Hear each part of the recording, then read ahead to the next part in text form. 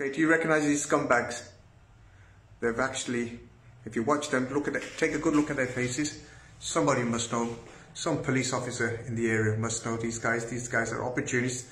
They've come into my garage and uh, as you can see, they've opened the gate. The cars, one or two cars were left running because the place has been closed for several days and these guys have stolen two vehicles. Take a good look at these guys. Somebody must know them.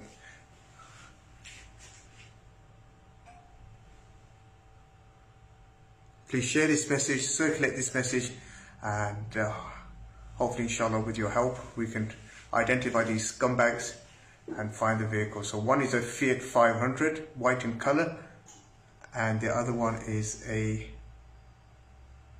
VW Jetta.